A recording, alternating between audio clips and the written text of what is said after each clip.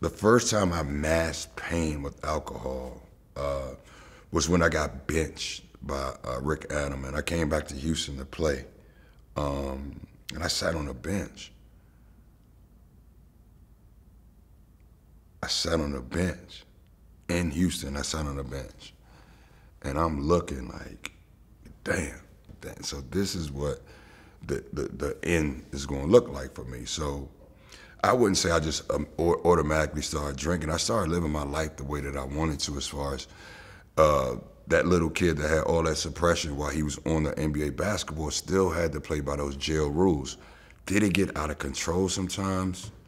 Uh, that one time I got a DWI, um, I was upset. But also going through a divorce at the time, going through my NBA career coming to an end, going through my dad uh, committing suicide, um, going through all those things with no help, with no help. So then I started popping up and drinking like, damn, what the hell? What's going on? What's going to be my next move? What are you going to do next? So when you get to that point and you break down, you're dark. So now when you pop in them bottles, you're going to pop some more bottles. And then the next day you're going to pop some more bottles. And then you're going to start earlier. And then the boat rides are that much smoother. And, you know, the crowd gets bigger and everybody's partying. So you cool, you fitting right in. But when you go home, you like damn, how much money I spent. Damn, and, and all those questions. When you when you got a, all those dams, that levee gonna break. And mental and mental health to me is when you are able to admit that you're tired. And I was tired of holding some of those things and I was tired of holding all these people together who didn't really care about Steven. I'm not a snitch, but speaking out about uh, being mentally soft is like snitching when we were growing up.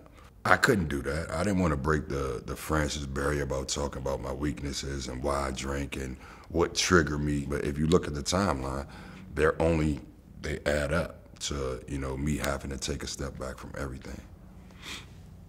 Regardless of what you might have heard, somebody helped me go to rehab. Nah, I didn't do any of that. Um, I found a counselor um, someone who I could just talk to about my real problems, not the sugar-coated stuff like, oh, we're gonna send them off the. No, I didn't need none of that. I just needed to really talk to somebody, and it wasn't about drinking. So it was more the scars of my childhood that I'd explain that I never had the outlet to let anybody know. Because the questions that they were asking me, there were some questions that I had bottled up that I never had a chance to to look back because when my mom passed and I went to college, there was zero grieving for me at 18. It was off to San Jacinto Junior College, and in that journey to uh, get out of poverty and be the best basketball player in the world, that's when it began. So from all that suppression, at 22 I became a millionaire.